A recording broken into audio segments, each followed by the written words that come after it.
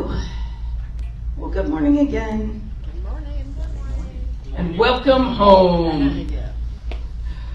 Uh, those of you here last week, or if you've caught up on our, our YouTube sermons, you know that we began a, a new series uh, that's basically a journey into the subject of communion.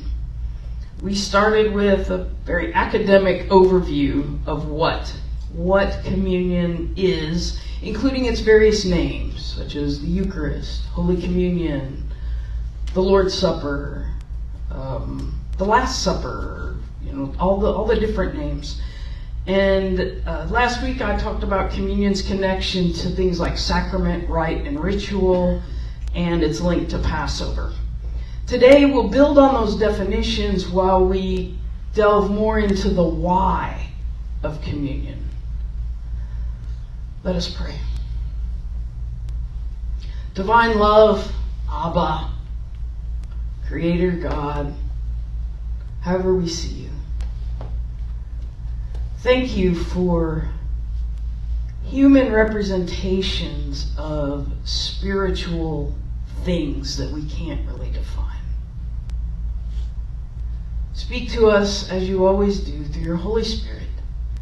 And let whatever resonates with us today in this message grow and blossom and, and bear fruit. And let whatever doesn't resonate with us just sit for a later time or for whoever else needs it. Thank you for the privilege of being here today. Thank you for the love that you surround us with through others. It's in Jesus' name I pray. Amen.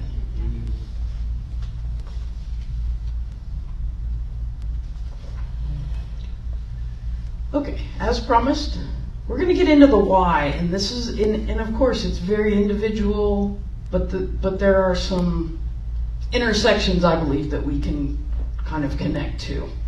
A big part of the why is based on the model that we talked about last week of the Last Supper in the Gospels of Matthew, Mark, and Luke, but it also involves teachings from that other gospel, the Gospel of John in John chapter 6, starting in verse 32, again using the Common English Bible today, uh, it says, Jesus told them, I assure you, it wasn't Moses who gave the bread from heaven to you, but my Father gives you the true bread from heaven.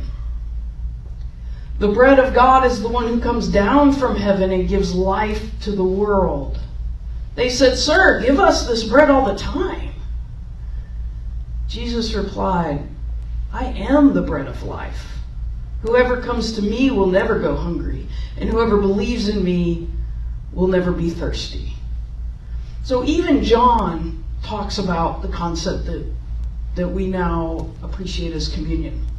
From here, it kind of shifts uh, into, as we get into the whys, there are really, and again, this is a broad overview, so every, everyone also has their own individual perceptions or, or angles or approaches.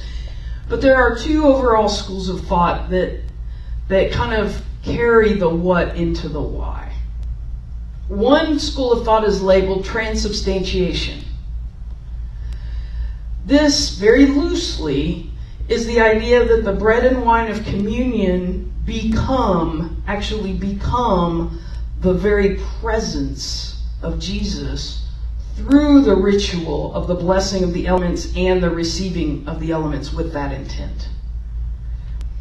This is most often associated with the Roman Catholic Church and other similar high liturgy followers, but mostly Roman Catholic. And among the supports for this doctrinal tenet, the followers tend to cite the same chapter of John. Earlier I quoted uh, John 6, 32 through 35. Later in the same chapter, and again, this is when Jesus is I think he had already walked on water, he had fed thousands of people, he had done all these miracles, and then people were like, But but you claim to be the Son of God. People were trying to kill him because he was, in their view, claiming all these things that were heresy and blasphemy and everything else. And so the, he's kind of arguing with some of the religious zealots of the time. And so they're trying to trap him in certain things. But then also he's talking to to both his, his his core disciples and like the greater people. So it it's kind of a mix of crowds here. But later in the same chapter of John, it says, Jesus said to them, I assure you, unless you eat the flesh of the human one and drink his blood, you have no life in you. Whoever eats my flesh and drinks my blood has eternal life, and I will raise them up at the last day. My flesh is true food, and my blood is true drink. Whoever eats my flesh and drinks my blood remains in me, and I in them. So the idea is that it's a process, and we have to continue to do that. I heard it explained recently, and, and this has helped me grasp it a little better. Um, it's not that the materials or the recipe changes. I mean, I still have the taste of the communion wafer in my mouth. It didn't like. There's no white meat, dark meat. You know, it's not. It's not of that. The material. It's not transmaterialization. The recipe is the same. The ingredients are the same. What changes is the presence. That's what's meant. What is meant by the substance. What changes is through the grace of God, which, if you remember last week, that's what makes it a sacrament, the application of God's grace. It becomes the physical manifestation, so to speak, of Christ's presence.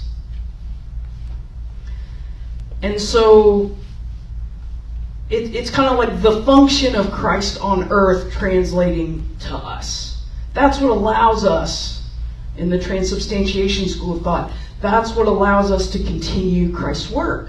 That's what allows us that connection to the Holy Spirit. Even if you don't follow that belief, that explanation may help get beyond the idea of, you know, that it's some sort of vampire thing or cannibalism or, you know, something like that and get you to this idea of a holy mystery and another indicator of God's grace. That's what's helped me. I don't. I, am not a transubstantialist. Transubstantialist. I. Anyway, I'm, I'm. I'm not one. But just through my own research, I've been able to go. Okay, I can find that intersection, like we talk so much about, and be like, oh, it is the spiritual aspect, but it, it's just a more physical representation of it than the way I take it. And so that, you know, that's okay. But I also wanted to provide an overview because, again, we like to reach out. Um, on the other hand, many Protestants view communion somewhere along a wider scale. They range from a similar spiritual transformation of the food and drink. A lot of Lutherans follow the the idea that it's not quite transubstantiation, but it's pretty close. It's like Jesus' presence is still through communion. Um, and then it, it, goes all the way to others that are just like it's a completely symbolic act, it's just a, a sign of remembrance, um, and it, it's something reflected every meal, things like that. None of those are wrong. All of that is, is fine. It, again, it's your spiritual journey, it's what works for you.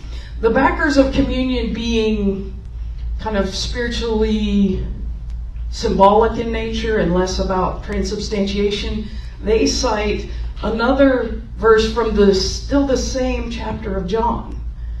In in verse 63, Jesus says, "The spirit is the one who gives life, and the flesh doesn't help at all.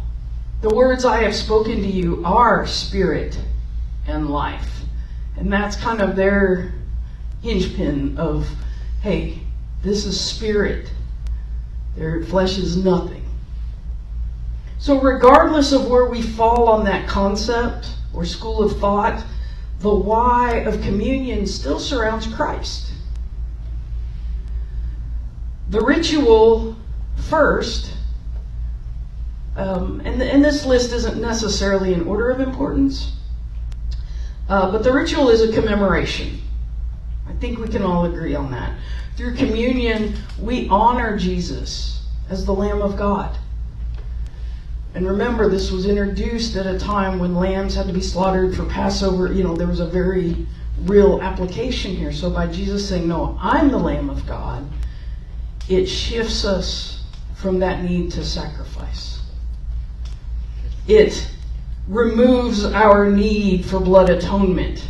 And if you followed my messages at all before, you'll know that, that my view on that is that the need for sacrificial blood was one we created to deal with our own shortcomings. It wasn't that God demanded it of Jesus. We demanded it of God, basically. Because we just couldn't get by with the idea that forgiveness could be anything that we didn't earn. And God's like, here, I'll show you. I love you so much that I'll die for you. If you must have blood, take mine. Um, and I won't get any deeper into that right now because that's, you know, that's a whole other thing, and I want to focus on communion. But it's also a nod to Jewish history because it honors Jesus as the completion of the Passover event. The Last Supper was at Passover, as I spoke last week. And it's a reminder of the manna provided during the Exodus. Those, those the things Jesus was saying connected to the manna from heaven that during the Exodus they weren't able to collect the bread and you could only collect enough for that one day. And that's why communion is kind of a continual process. Um, and that's one reason I like to do it every week too. But you don't have to. Uh, remember, much, much of what we do, learn, and believe grows from previous actions, knowledge, and thoughts. It's okay to have a springboard, to have a foundation. We're not trying to reinvent spirituality. The establishment of communion is no different in that regard. It's a growth of previous belief.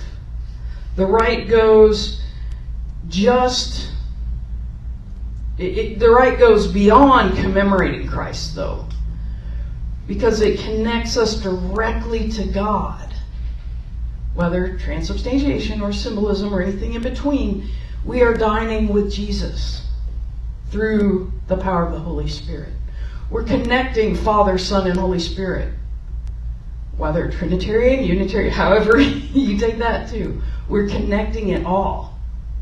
And we signify our own inclusion and acceptance into God's fold when we choose to partake. And we do this in remembrance of Christ and of Christ's message. So, so communion is a commemoration. Communion is a connection directly to God. And communion builds community. Like other meals we share, the Lord's Supper offers a way to appreciate our diverse lives, viewpoints, and backgrounds, and also allows us to pause and share something in common. It doesn't matter how we see the bread and wine, or grape juice, or whatever it is we use. It, it, it's okay. It doesn't matter. You're allowed to see it however you choose to see it, and whatever works with you we still can do it together. And that's yet another way we can reflect our own unique angles of God's light and love. But like other aspects of connection to God and community and even commemoration, it's not a requirement. God doesn't require us to do that. It's just, it's yet another tool in our toolbox. It's it's another form of worship. It's it's it's music from the inside out. And that's why if you don't, if if none of this vibes with you at all, that's fine too. But if you were kind of wondering or, you know, kind of like, I don't, I don't get this part, but I kind of like this part, then then maybe that gives you another why to to give it a shot if you choose to. Again, I won't tell God on you.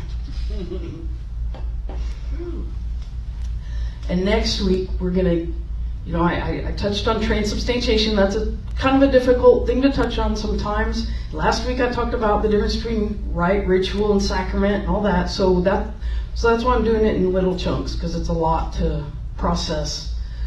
Um, and then I try to do something academic and connected to spiritual. So that's where I'm going with this. Next week, I'm going to talk about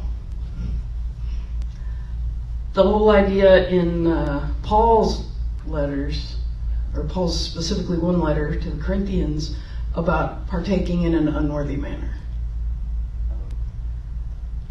So, I think I've got, I think God's given me some kind of cool insight in that. So we'll see. But uh, that that's what we'll do next week. For now, just reflect on on what communion does or doesn't mean to you, and how you choose to do it. Whether it's here, whether whether it's just a commemoration by praying over a meal, because that connects too. Yeah. Let us pray.